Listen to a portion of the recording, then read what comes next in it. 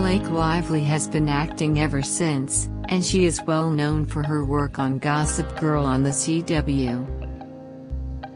In addition to having her first kiss while filming a movie, Lively has referred to Martha Stewart as her idol. She claimed that although she doesn't use alcohol, she enjoys mixing drinks.